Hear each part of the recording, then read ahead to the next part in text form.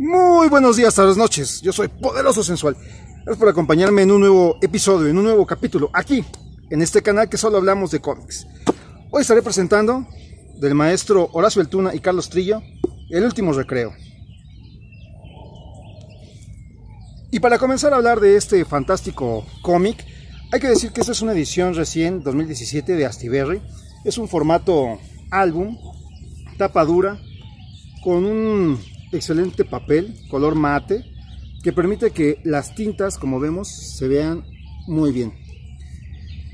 El último recreo es sin duda una historia que a mí me, me, gustó mucho leerla. Eh, y para hablar de esta historia, yo creo que primero tenemos que hablar de tres puntos importantes. Los dos primeros, sus autores, y el último, el contexto en el cual se hizo. Para comenzar a hablar de sus autores, comencemos con Horacio Altuna. Decir que Horacio Altuna y Carlos Trillo sin duda son dos titanes de la historieta argentina. Eh, hablar de ellos es hablar de una época de la eh, historieta argentina. Junto con eh, Héctor Germán Westerhead y Alberto Brescia, sin duda es una de las duplas más importantes que también se hicieron, junto con otra de Alcatena y Mazzutelli. Entonces, bueno, estos binomios creativos son muy comunes en Argentina y van marcando épocas. Pero vamos a hablar de esta en específico. Horacio Altuna nace en 1943, en, en, perdón, 1941, en Argentina. Actualmente vive en España y sigue activo, sigue creando eh, guiones y trabajando en sus propias historietas. Él al principio, él se empezó a desarrollar en los cómics en la primera parte de la década de los 60 y comenzó en diferentes editoriales pequeñas y una de las que él comenta es que eh, trabajó haciendo una copia de un superhéroe que pues, era la copia de Superman. A él no le gustó mucho este tema, pero ahí descubrió lo que es este, la historieta y se enamoró de ella. Entonces eh, comenzó a trabajar, comenzó a hacer eh, diferentes historias por aquí y por allá. Y eh, bueno, tuvo ahí un, ¿cómo se puede decir? Un trabajo suficiente para llamar la atención de un sector del cómic, ¿no? Entonces, ya esto hace que también en 1974 conozca a Carlos Trillo. Carlos Trillo, por otra parte, también él nace en 1943 y lamentablemente fallece en el 2011 en Londres. Eh, y hablar de, la historia de Carlos Trillo también es sin duda hablar una época específica de la historieta argentina. A mi gusto y opinión muy personal, Carlos Trillo es el último eslabón de esta gran cadena de creadores argentinos que por mucho tiempo estuvieron dando cara eh, y, dando voz a la historieta argentina, ¿no? Sin duda todavía hay grandes referentes como Rizzo, como eh, muchos dibujantes más que ahorita se me han ido, pero es eso, ¿no? Yo creo que en la década de los noventas y ochentas y hacia atrás, eh, todavía dos miles, ellos eran referente, ¿no? Y mantenían a la historieta argentina viva y en el reflector. Lamentablemente por todo lo que sucedió en los noventas, como es el boom del manga, la situación eh, eh, geopolítica de, Argentina y en general todo lo que sucedía en, el mundo, hicieron que la historieta pues eh, tuviera un, apagón, ¿no? un bajón. Y sin duda eso será un tema bien interesante para poderlo explorar en otro programa. Pero sí siento que con la muerte de él muere una etapa, una época y estamos esperando que surja esta nueva época. Como digo, hay grandes eh, eh, duplas como Alcatena y Mazzutelli. Eh, no, no es así, ahorita me acuerdo cómo es el nombre. Pero este, siguen vigentes, ¿no? Entonces ya, sin enredarme, para no meterme en esta cosa, que después estaría padre hacer algún como línea de tiempo de la historieta argentina. Bueno, eh, Carlos Trillo comienza a trabajar y uno de sus primeros eh, textos más reconocidos es uno que hizo con nada más y nada menos con Alberto Brescia, un tal Danari. A partir de aquí llama mucho la atención, comienza a hacer diferentes textos para diferentes, bueno, diferentes guiones para diferentes historias con Brescia, en antologías y así. Y llega también a trabajar con Enrique Brescia haciendo un título que se llama Álvar Mayor. Y bueno, aquí comienza todo un despliegue de historias y un desfile de grandes artistas, ¿no? Eh, Trillo ha trabajado eh, no nada más nacionales, sino internacionales, como Jordi Bernet, con el gran Carlos Meglia, que lamentablemente también falleció, eh, con Rizzo, con el que tú quieras, él ha trabajado, y bueno, con Horacio Altuna se conoce en 1974 y en esa época es cuando crean este, a finales, principios del 75, eh, el Loco Chávez. Loco Chávez también es un referente de la historieta argentina y que en todas las bibliotecas de cómic de historieta argentina va a estar ahí. Eh, este trabajo dura un poco más de 10 años, este, hasta 1987, más o menos. Y bueno, marca el inicio de esta etapa de este dúo dinámico. Ellos en conjunto en Argentina hicieron esto, hicieron también Charlie Moon, Charlie Moon, que sin duda también es una gran noticia porque Astiberri este año lo ha sacado como novedad, entonces ya confío no tarde mucho en que llegue ese, ese ejemplar a México y poderlo leer y compartir aquí con ustedes. Y también otro clásico eh, de la historieta argentina que es Las Puertitas del Señor López. Las Puertitas que no solo quedó ahí, sino que eh, provocó que se hiciera una revista con ese nombre y que Trillo fuera el editor y que eh, eso también tiene eh, repercusión en México, porque cuando Carlos Trillo hace eso, él tiene mucho material. Después, la, lamentablemente, por tiempos y diferentes circunstancias, la revista ya no trasciende. Pero en México tiene un rebote porque eh, tiempo después se hace el Gallito Comics y el editor, que no recuerdo ahorita si es Ricardo Camacho, eh, hace contacto con Carlos Trillo, platican y Carlos Trillo, de manera muy gentil, cede historias para que se eh, publiquen aquí en México. Entonces en el Gallito vamos a encontrar historias como el libro de Gabriel, que hace con Carlos Trillo, otras historias que hace con Mandrafina. Entonces un montón de historias que salen en el Gallito gracias a Carlos Trillo, que generosamente se las dio a los, del, eh, a los Gallito no sé muy bien si las regaló o fue algo muy eh, simbólico, no lo sé, ahí sí desconozco.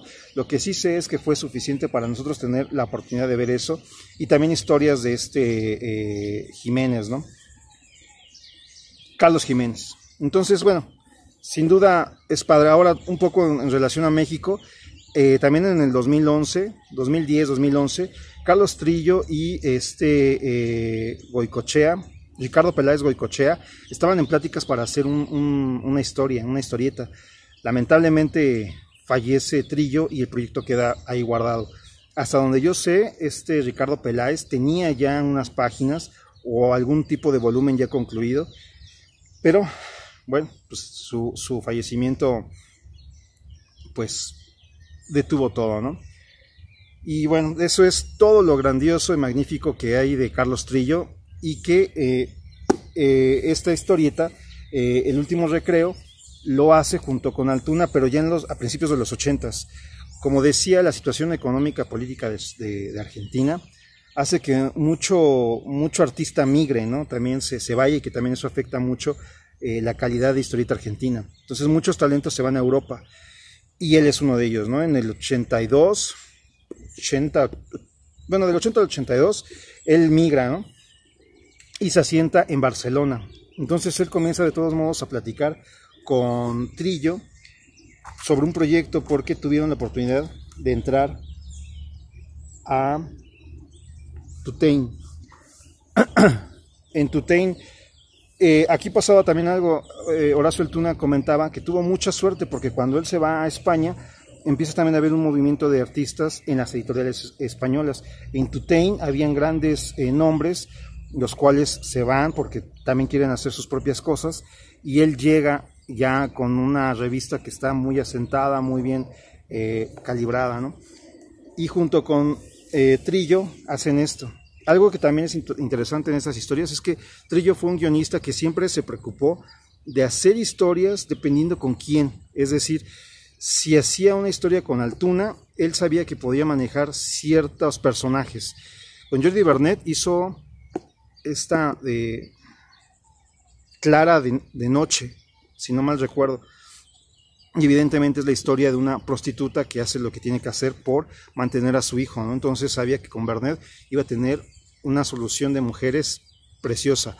En el libro de Gabriel con eh, Carlos Meglia es mucho más dinámico, ¿no? Entonces eh, hace un, tipo de historia dependiendo con qué dibujo, dibujante, ¿no? Entonces eso es bien importante.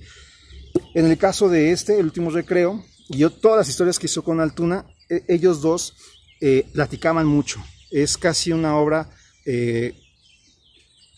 pues también en el guion, eh, dividida, ¿no? O sea, no nada más es el guion de, Trillo y tú pontes los dibujos, sino que los dos aportaron ideas para el guion y los dos aportaban también para los encuadres, para las soluciones, si bien cada uno en su respectivo eh, eh, especialidad tenía el punto final, pues los dos participaban de cada área, ¿no? Lo cual hace que estas historias sean muy gratas. Y bueno, hablando rapidísimo ya de contexto, porque ya me colgué mucho hablando de los artistas. Eh, recordemos que en los 80 estaba todo este miedo al botonazo, ¿no? Miedo a, la guerra nuclear. Eh, en historias como Watchmen eh, y muchas más, vemos este, este, esta sensación de fin de mundo, ¿no? De lo apocalíptico. Recordemos también en esta época el, cyber, el cyberpunk empieza a, hacer ecos, ¿no? mostrándonos una, una etapa eh, social en la que tal vez ya todo esté destruido por el armamento nuclear, ¿no? Esta historia bebe de eso, bebe de eso, bebe de una idea postapocalíptica, ¿no? Entonces, para ya entrar en tema, el último recreo es una historia en donde vamos a encontrar un qué pasaría si no hubiera adultos en una sociedad, quedaran puros niños. La forma en la que los autores aquí desaparecen a los adultos es inventando que hay una bomba, una bomba sexual, una bomba que ataca a todas aquellas personas que ya tuvieron un despertar sexual. Eso hace que pues solo los inocentes, los niños queden eh, vivos.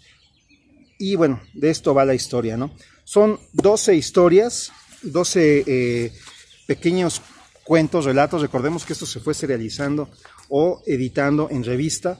Y aquí vamos a encontrar una novela gráfica, esto es un compendio de diferentes historias que en su conjunto sí tienen que ver, sí, sí, es un universo, pero eh, divididos, ¿no? Voy aquí a, estos sí los apunté porque no me los acuerdo bien. Los títulos son El último recreo, este consta de 11 páginas, El rey de la ciudad, 7 páginas, a partir de este tercero, ya todos son de ocho páginas. Viene el monstruo, el rey Arturo, la estrella, con ayuda de papá, cartas de mayores, ciudad muerta, cosas que quedan en el camino, el hombre, un lugar para quedarse y el último, último recreo.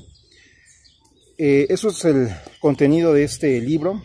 Y bueno, como decía, vamos a ver qué pasaría en un mundo donde no hay adultos.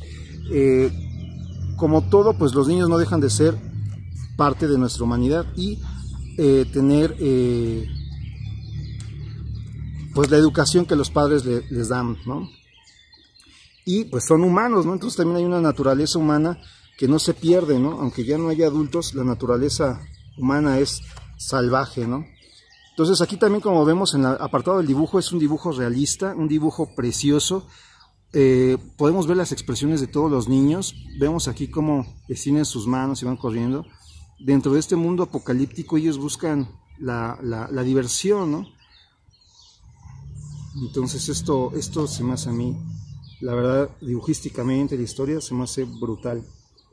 Ahora también vemos cómo eh, Horacio Eltuna tiene la gran capacidad de dibujar y de jugar con los globos para que estén prácticamente todos al centro y sea una manera diferente, un tiempo diferente de lectura, ¿no? No tienes que ir de cuadro en cuadro, sino tu vista va al centro y una vez que terminas aprecias el dibujo, ¿no? Aquí vemos cómo se ve espectacular.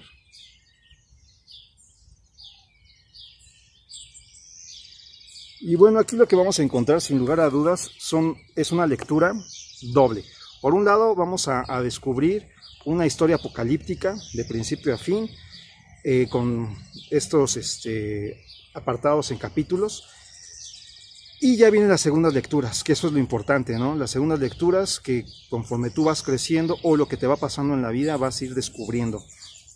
Eso es lo importante. Esta historia ya tiene 37 eh, años que se escribió, como decía, fue en el 82, estamos en el 2019, y cuando tú la lees sigue vigente, ¿no? Porque a pesar de que tengamos eh, eh, teléfonos celulares y mucha tecnología, simplemente un apagón de luz nos deja desarmados, se nos van todas esas opciones, sí mucha información en Wikipedia y Google, pero sin energía esa información queda perdida en el limbo.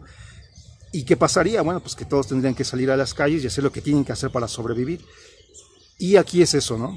Como este grupo de, sociedad, de jóvenes, pues también tienen que salir a, vivir, ¿no? Porque pase lo que pase, no puedes detener la vida y no puedes detener el, crecer. Entonces eso es también lo que aquí nos marca, ¿no? Y cómo ellos hacen para ir creciendo y qué pasa. También aquí es cierto que el dibujo es muy fino porque, como vemos aquí, es casi una lolita es muy fino Altuna para dibujar este tipo de, imágenes en donde es una niña que va creciendo y que empieza a, brotar físicamente, por así decirlo, pero no llega a un nivel vulgar, ¿no? sino eh, es también de quien lo ve. El personaje ahí está, tanto ella como él. Y quien lo ve es el que va a estar ahí generando otro tipo de, imagen, ¿no? de sensación. Es lo que se me hace también exquisito del dibujo de Altuna y que eh, en cuanto al guion, la, forma en cómo nos va llevando Trillo es, es un ritmo muy lento. Eh, pasan cosas en el cómic, la lectura es muy fluida, pero Trillo nos va llevando de una manera muy sutil hacia cierto punto, hacia cierto eh, momento de la historia que él nos quiere llevar. Entonces eso se me hace también muy bueno, ¿no? Yo, como digo, sabía que ellos dos existían, no me había acercado mucho a la obra de ellos, yo estaba más cegado por lo clásico que es Brecha y Osterfeld. He leído cosas de Trillo porque me gusta mucho lo de Carlos Meglia, Cyber Six, todo esto, pero no me había adentrado a buscar cosas eh, eh, de ellos, ¿no? Tengo una colección de Coligüe y hay varias cosas de Trillo, entonces esto hace también que ya eh, está ansiado por, por leerlas, ¿no? para mí me, emocionó mucho, me gustó mucho, los invito a que se acerquen a esta historia. Esta aquí en México se consigue muy fácil, en Gandhi la puedes conseguir, si no entiendes como Global Comics también ahí está, en el sótano también está, entonces ya sea en línea, que tú vayas por ella, se disfruta mucho, ¿no? Es un gran formato en blanco y negro y como dije, pues no hay desperdicio en, ninguna de estas lecturas. Aquí ya me está dando un poco el sol, confío se aprecia el dibujo pero sí es algo brutal. Pues bueno, yo hasta aquí con este libro, eh, súper recomendado, eh, certificación poderoso sensual, claro, después de treinta y tantos años que está, vengo yo a decir que es buena, ¿no? Esta tuvo una, en el 89 tuvo una primera edición, del cual cuentan que tuvo ahí un problemilla en una hoja, pero nunca lo corrigieron, se quedó así. En los noventas, Planeta de Agostini se encargó de hacer otra edición y ya no se había tocado más, ya no se había reeditado hasta ahorita que Astiberri vuelve a sacar este, este, este título y lo hace de una manera espectacular. También a mí me da la sensación para si alguien ya tiene el libro de Mort Cinder de Astiberri, eh, ellos lograron tener los originales y escanearlos y aquí hay algunas páginas que me da la sensación que también son originales. No sé si ya sea una forma de ellos de ir haciendo un tipo de colección.